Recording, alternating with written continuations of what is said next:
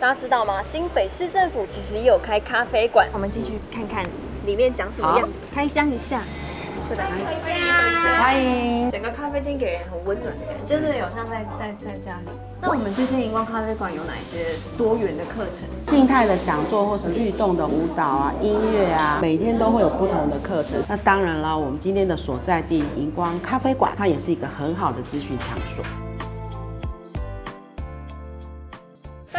迎收看这一集的《今天好好说，好好说新北》，我是主持人婉婷。每次到了周末，大家都喜欢在咖啡馆度过悠闲的下午，所以咖啡馆也是越开越多。大家知道吗？新北市政府其实也有开咖啡馆。我们今天来到荧光咖啡馆，现在欢迎卫生局吴科长帮我们说明一下，我们新北市的咖啡馆是做什么的。大家好，我是呃卫生局高龄肠道科科长吴玉凤。基于呃长照的二点零，整个新北市我们开了十六家的荧光咖啡馆。那一般的民众是可以进来吗？纯粹进来坐一坐，当一般的客人都是可以的。这是第一间，对不对？第一间荧光咖啡馆，。它其实是社宅唯一的一个店面，我们就希望说它能够提供楼上社宅的服务跟这个区域的这个部分。所以他们哦每天早上就可以下来是喝咖啡，然后看看一些相关的资讯。这边会比较偏重是照顾方面的，我们有一些呃有医学背景的，他驻点在这里，他也可以呃作为一个咨询。那如果他不是很清楚的，他至少也会帮我们做一个资源的转介，他这里可以作为一个单一的咨询窗口。这个全方面的服务，对在所以我照顾们新北市面十六间荧光咖啡馆，每一间都有不同的特色跟他们的服务。比如说在林口是有一个赋能，因为他们那一群人都是专业的职能治疗师，那他可以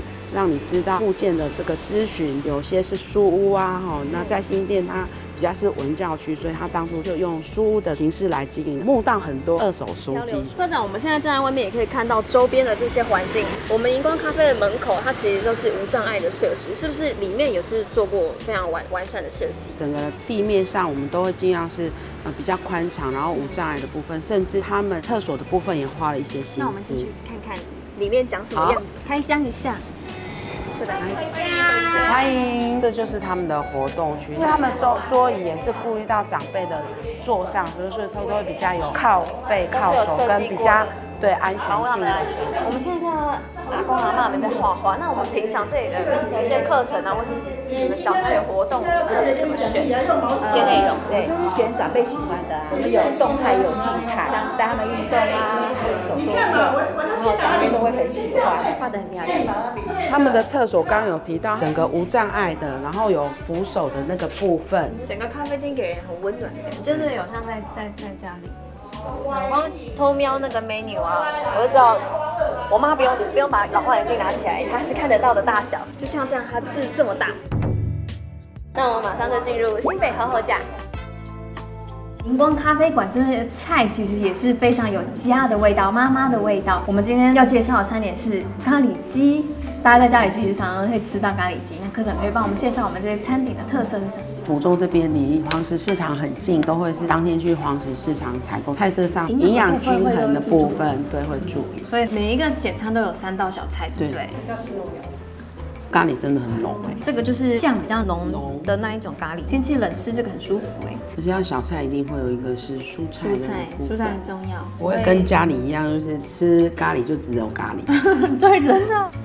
小菜不会过咸，也没有放什么辣椒，可是它的调味是很刚刚好的，很下饭哎，米饭也很香，配咖喱非常的刚刚好。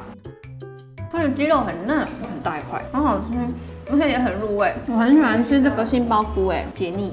我们刚刚咖啡馆的咖啡一点也不马虎，要层次有层次，要香味有香味，喝起来很温暖，而且它的奶泡是很绵密的，苦中带甜，对，苦中带甜，因为它的奶泡是那种淡淡的牛奶香，它跟底下的比较苦一点的那个咖啡融合之后，调味很完美，刚刚好。科长透露，这边有时候会有隐藏菜单，水饺，他们的水饺超大颗，然后又很棒。大家自己来寻宝一下。那我们吃完非常温暖有家的味道的荧光咖啡的咖喱鸡之后，我们还是必须要进入每一集都会有的小考验，快问快答。科长，我们新北市总共有几间荧光咖啡馆？我们新北市一共有十六家咖啡馆，然后就分布在我们的都会区。平常一般民众跟长辈来我们这个荧光咖啡馆是会收低消的吗？一般的民众，呃，他的低消就是一杯饮品，长辈要进来参加活动，没有消费是没有问题。就是我们阿公阿妈平常来这边上课啊、听讲座，那个是不收费，就是有一些像画画那种材料费会着收，但是没有没有低消的问题。对，社区的长辈或者一般的民众啊，想要来这边参加课程是怎么报名？是采预约制的吗？可以在 FB 上跟呃单位联络，看到他喜欢上的课程，他就可以直接来报名预约。现在的长辈很爱滑脸书，是他们都可以完整接收这些资讯。那我们这间荧光咖啡馆有哪一些多元的课程？静态的讲座或是律动的舞蹈啊、音乐啊，它就会有一些手作的课程啊，或者是呃来一起运动，每天都会有不同的课程。新北市还有哪一些首创的长辈相关的政策吗？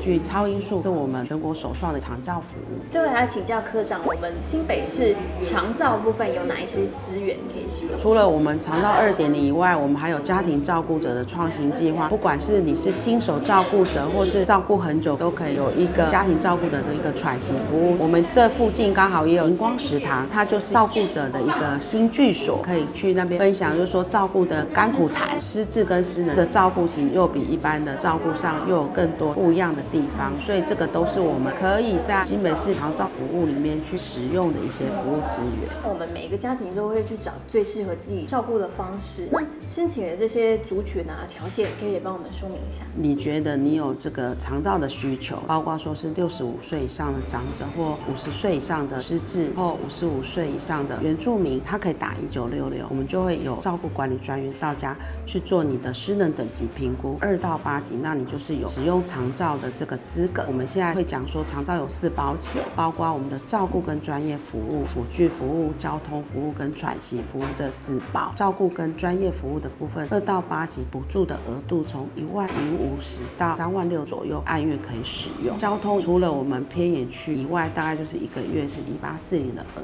度。科长提到了非常专业的巴士量表那一块，那对这个对我们民众的影响是什么？巴士量表今年已经就是放宽，如果你已经有在用长照二点零固定的照顾类，持续用六个月以上，未来你真的想要请外籍看护的部分，可以用这样的管道来做申请。一般的民众还有这些长者，如果有需求的话，可以到什么管道或者什么平台去取得这些这方面的资讯？如果你对长照有任何的问题，你都可以拨打一九六六，就会有专人来跟你这个咨询、评估有需求之后，照顾管理专员到宅去做评估，或者是你直接到各个照管分站，那都会区就有十一个，所以其实我们咨询的点也非常广布。那当然了，我们今天的所在地这个荧光咖啡馆。